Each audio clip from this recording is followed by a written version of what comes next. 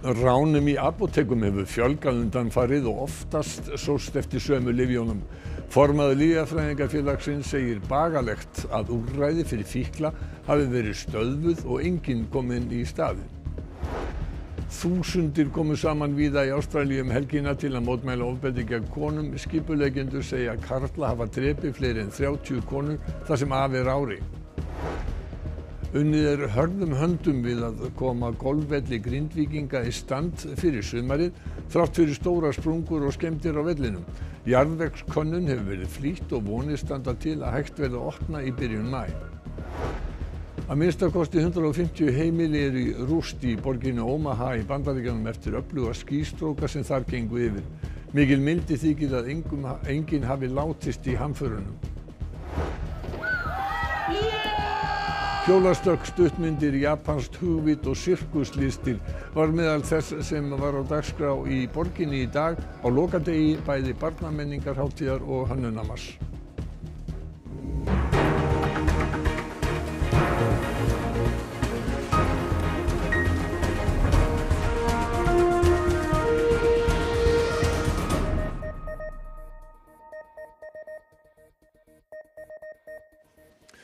Gott kvöld. Formaður Lífjafræðingafélags Íslands segir að skoða verði gaumgæfilega hvað valdi fjöl, fjölgun rána í apotekum. Ekki sé hægt að horfa fram hjá því að hópur sem ákveðin læknir syndi hafi hægt að fá líf sín.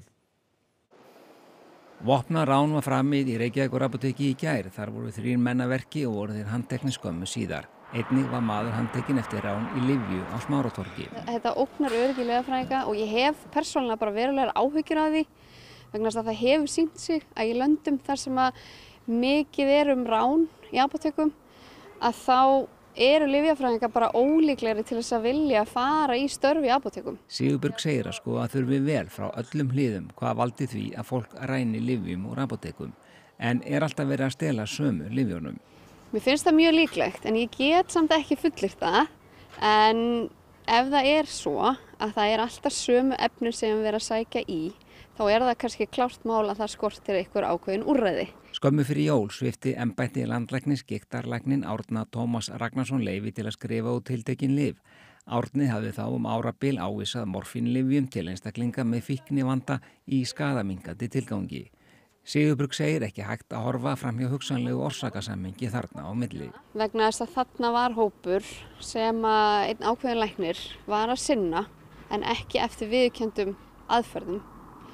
Öllu er kift undan þeim óviðkjöndu aðferðum og engar aðrar, sko, engar aðrar ferðlar settir inn í staðinn. Forsætisráðherra Ástralíu hefur boðað ríkisstjórnarfund til að ræða aðgerði gegn kynbundnu ofbeldi. Þúsundir komu saman vísvegar um landið um helgina til þess að mótmæla ofbeldi gegn konum. Hálfur mánuður er frá því að Karlmaður stakk sex til bana í Veslunamiðstöði í Sydney. Fimm af þeim voru konur og telur lögregla mannin hafa leitað upp konur til að myrða.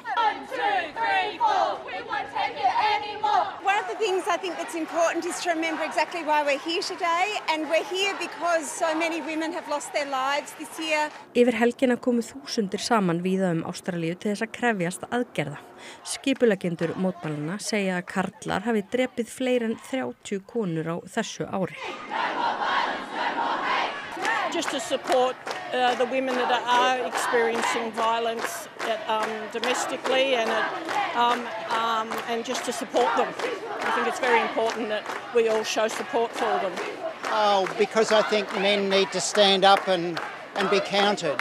Um, there's too much violence, too much, um, there's just too much violence going on and Í Canberra slóst forsætisráþurann í hópin. Hann tekur undir með mótmælendum. To demand that governments of all levels must do better, including my own, including every state and territory government. Albanís hefur búið til ríkistjórnafundar næsta miðvíkudag til þess að ræða aðgerðir. Til umræðu verður meðal annars að auka fjármakt til málaflokksins og réttur þólenda heimilisofbeldis til þess að fá launað leiði. Fjórir fórsetaframbjóðendur sem allir fengu lengri frest til að skila inn nöfnum meðmælanda til að fórsetaframbóð þeirra teljist gilt segjast allir hafa tryggt sér þau meðmæli sem upp á vantaði. Þetta voru þau Arnar Þór Jónsson, Ástþór Magnússon, Eiríkur Ingi Jóhannsson og Helga Þórisdóttir. Starfsmenn landskjörstjórnar hafa um helgina farið yfir gögn sem að skila var á förstudag og tilkynnt verður fyrir hátíð á morgun hversu margir verða í frambúði. Framkvæmdastjóri samtaka fyrirtækja í fjármálaþjónustu segir ótækt að það fari eftir skólum hvort fjármálalæsi sé kent. Samtökin vilja námi fjármálalæsi verði sett í aðalnámskrá grunnskóla sem er í endurskoðun. Nú stýttist í að margt und fólk fái sína fyrstu launasæla og það getur verið gott að geta lesið úr þeim. Hvað þýðir dagvinna, yfirvinna, orlof, persónu frádráttur, lífyrirsjóður, séring. Þetta eru kannski ekki þokkafylstu orð í íslenska tungu en það getur borga sig að vita hvað þið þýða. Það er konun hjá okkur sem kemur í ljós að réttum 10% barna eða aðspurða uh, telja sig að hafa lært fjár, um fjármál í grunnskóla. 74% telja þau eigi að læra í grunnskóla. Einni kom fram að 90% aðspurðura sagðust að vilja læra meira um fjármál í skóla en mismunandi er eftir grunnskólum hvort fjármálalæsi sé kent. Heiðrún telur brínt að jafna stöðu barna hvað þetta varðar.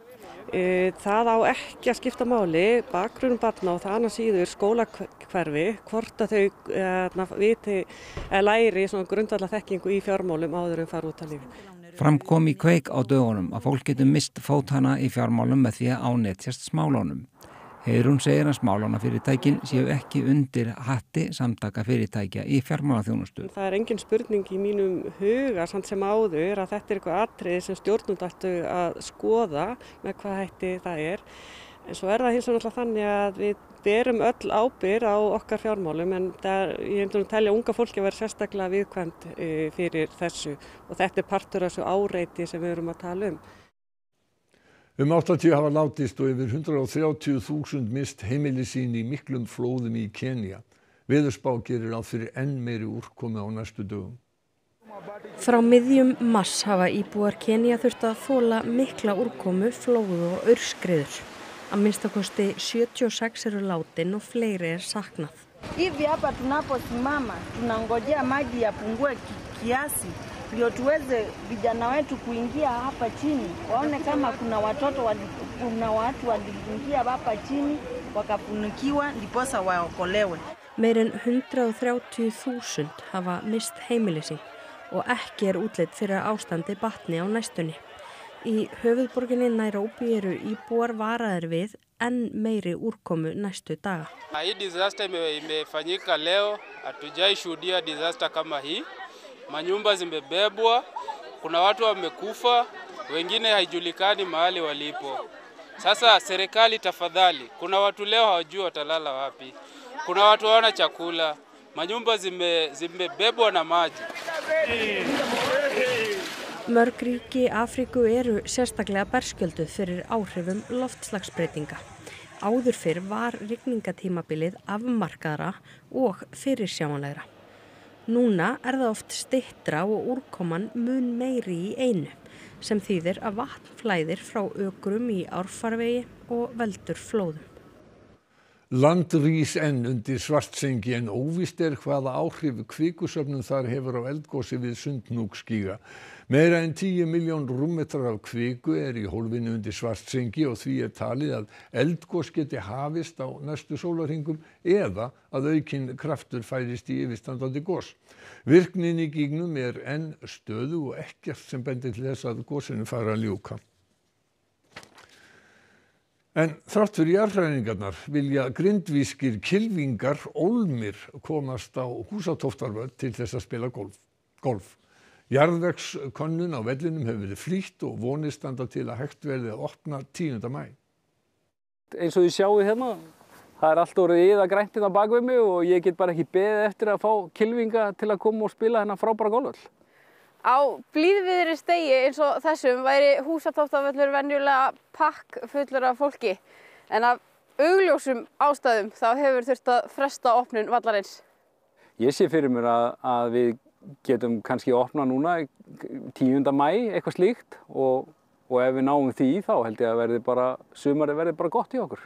Helgi segist hafa fengið margar fyrirspurnir frá fólki sem vilji spila á vellinum, bæði frá heimafólki en líka ferðamönnum sem eru forvitnir um svæðið. Það þarf þó ímislegt að gerast áður en hægt verður að opna.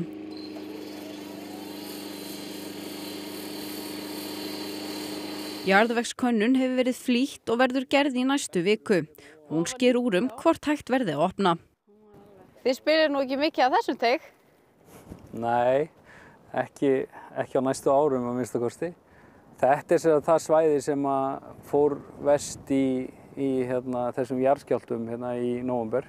Þannig að það sem við ætlum að gera núna er að við ætlum að, búa til nýjan tegbar hérna, örlíti framar sem að verður hérna svona bráðubyrjategur í sumar. Þannig að náttúrulega kannski stýttir hóluna um einhverja nokkra metra en, en ég held að það hefur engin kvartað við því að þurfa að spila aðeins stýttir í par heimhól. Helgi telur opnun golvallarins eitthlið í því að byggja Grindavík upp og glæða bæinn lífi á ný. Það er náttúrulega ekkert að gerast inn í Grindavík. Það er ekkert íþróttastarf í Grindavík. Við erum og verðum þegar við opnum, ég ætla bara fullir það að við opnum völlin og, og, og þegar við opnum völlin þá verðum við eina íþróttafélagi í Grindavík með einhvern rekstur í Grindavík og ég tel það bara mjög mikilvægt að, að hérna, við hefjum þessa uppbyggingu á svæðinu og, og hérna, fáum fólk til að koma á svæðið Fjöldi húsa er rústir einar eftir öfluga skýstróka sem að gengu yfir miðvesturíki bandaríkjana. Í Omaha, stærstu borg Nebraska-ríkis, er eðileggingin gífurleg. Að minnst af kosti 150 heimili eru ónýtt. Nokkri slösuðst en engin alvarlega og ekki hefur verið tilkynnt um döðsföll. Yfirvöld segja því að þakka að eh, fólk hafi hlustað á viðvaranir og brúðist eftir. Fjöldi fólks festist í rústum húsa en talið er að öllum hafi verið bjargað.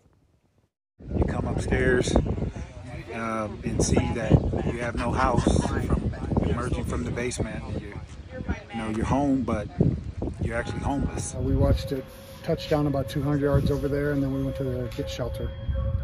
And we came back, we could hear it going through. When we came back up, our fence was gone, and we looked over to the northwest, and the whole neighborhood's gone. This utter destruction, just chaos. You got a neighborhood that's trying to band together to help people out, and you have some people trapped in houses that were trying to get out, and there's houses that aren't standing anymore. It's, it's utter chaos. It's like a movie scene. It's so unreal. It's nothing I've ever witnessed in my life.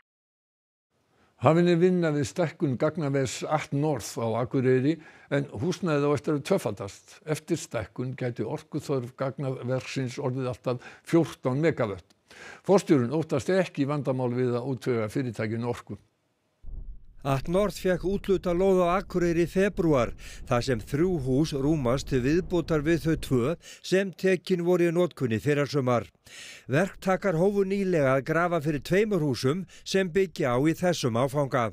Og gerum ráð fyrir að það fyrsta af þessum tveimur húsum verði komið í notkun þegar í upphafi næsta árs.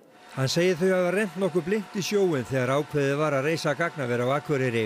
Bæði hvort hér væri nægur fjöldi verktaka til samstarfs en ekki síst hvernig viðskiptavinni fyrirtækisins tækju þessari staðsetningu. Það hefur hins vegar bara gengið vonum framar myndi ég segja og við finnum uh, umtalsverða eftirspurn eftir því að koma hinga. Fjölgun starffólk eftir fyrirhugaða stækkun fari mikið eftir því hvers konar viðskiptavinni bætist við. Rekna sér með að heldarfjöldin verða bilnu 20 til 30 aukverktaka. Eitt af því sem hefur kannski gengið hægar heldur en við höfum vonast til er að ráða okkar eigið starfsfólk hér á svæðinu. Eh, við höfum þurft að notast í meira mæli við verktaka og hérna, eh, utanakomandi starfsfólk. Og þetta sé almennt reynslan í gagnaverum fyrirtækisins, ekki aðeins hér á landi.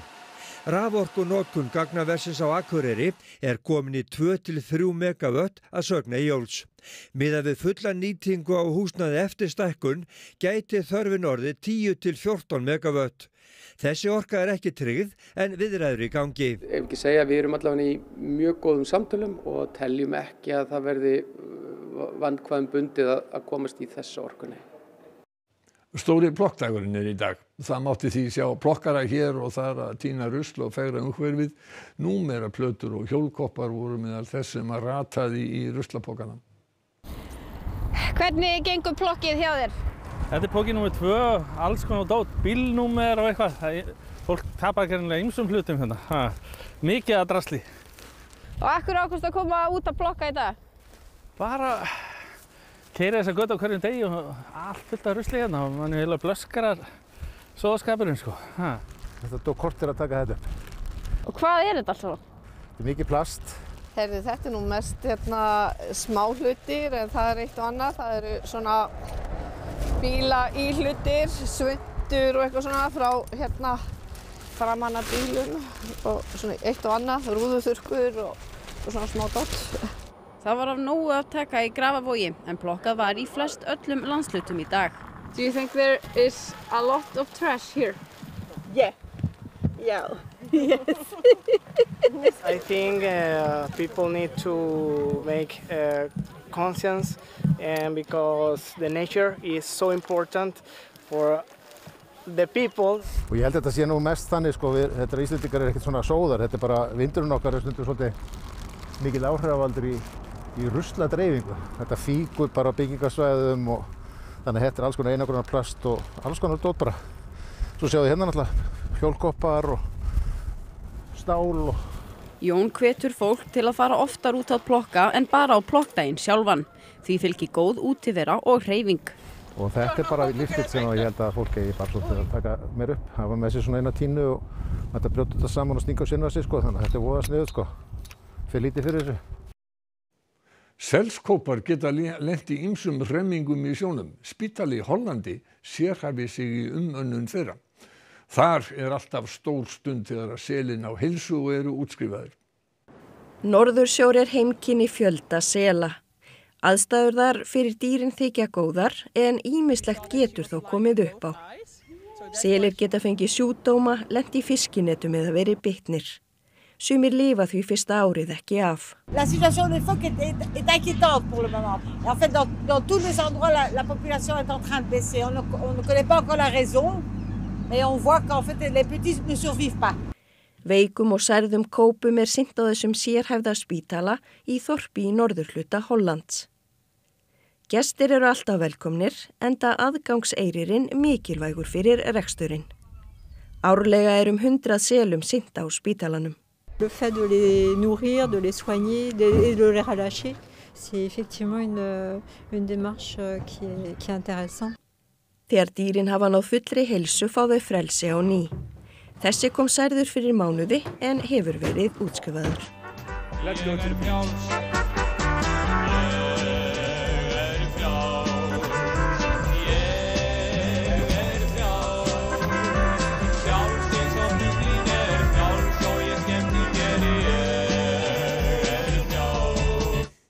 Það var líf og fjör í borginni í dag á bæði barnamenningarháttíð og hönnunumars. Ungur leikstjóri frumsýndi stuttmynd og fólk fekk að spreita sig í aldagamalli japanskri viðgerðartækni. Í dag var loka dagur begja háttíða og því mikið um dýrðir. Í Hafnarhúsinu kendi Ímissa grasa en þar var rauði þráðurinn endurnýting, notagildi og næjusemi. Það síndu til dæmis nefendur keramíkbrautar myndlistaskólans í Reykjavík verk sín og hægt var að kynnast sjálfbæri tísku með því að hanna sinn eigin taupoka hjá hönnunarstúdíónu Endurtakk. Gestir og gangandi gáttu hannað sínar eigin götur og svo var bóðið upp á ýmsar vinnustofur og kennslu, til dæmis í Kintsugi. Kintsugi er aldagömul í japansk tækni til að lagfæra keramík. Using uh, urushi trisap to repair ceramics and then decorate with uh, urushi and uh, usually gold and silver powder. Í stað þess að hilja brot dregur Kintsugi aðteklina að þeim. Oft er talað um heimsbyggilega hugmyndafræði að baki aðferðinni. Actually, I would say this is a, it's, a, it's just an art form or repair of something like uh, same as uh, mending clothes or mending, uh, I don't know, you could say dishwasher and uh, microwave, and uh, just mending technique of the ceramic.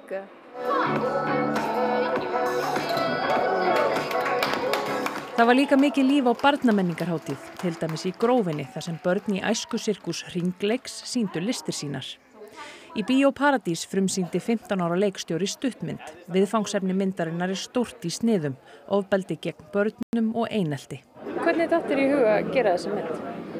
Það var rauninni vinkona mín Hólmfrýður, henni langaði að gera mynd sem var svona aðeins meira professional en allar hinna myndina sem ég hafi gert og síðan ákveðum við bara að gera eitthvað svoleiðis.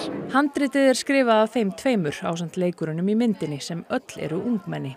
Magnús hefur gert í kringum 20 stuttmyndir síðan hann hófst handa í kringum 11 ára aldur. Uh, ég er með tvær leiðir í framtíðinni, annarkvæmt myndi ég vera leikstjóri eða líkansvægtamæður en ég held að ég geti orðið bara bæði, öruglega. Svo síndu nokkri strákar hættuleg og greinilega þaulæð stökk á BMX hjólum við mikinn fögnuð áhörvenda.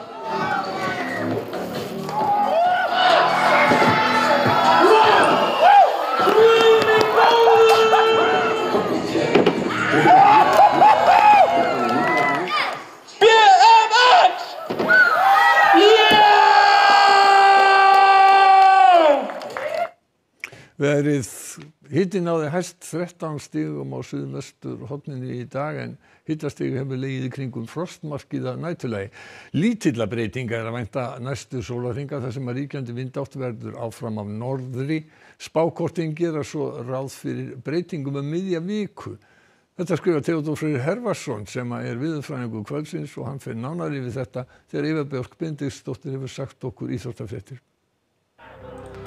Fjórðaum fer bestu deildar Karla fór á stað í dag. Ríkjandi Íslandsmeistarar voru á skotskónum á heimavelli. Evropamóti Karla í áhaldafimlegum lauk í dag með liðakeppni. Baráttur um gullið varð æsi spennandi. Og við settum sniður með Sigurði Hyrti Þrastarsinni sem dæmir bæði fótbolta og handbolta í efstu deild. Og rættum við hann um domgæsluna og lífið. Þetta á fleira hér rétt á eftir. En fyrst helstu frétti kvöldsins.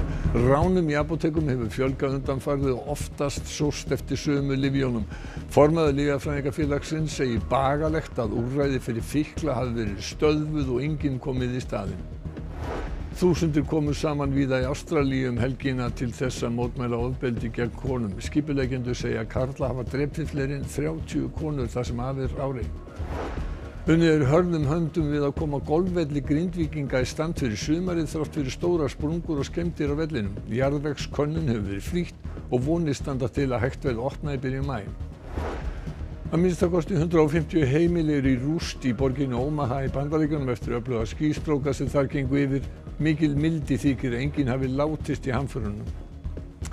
Næstu frettir í. 10 í kvöld. Þessu er lokið. Verðið sæl.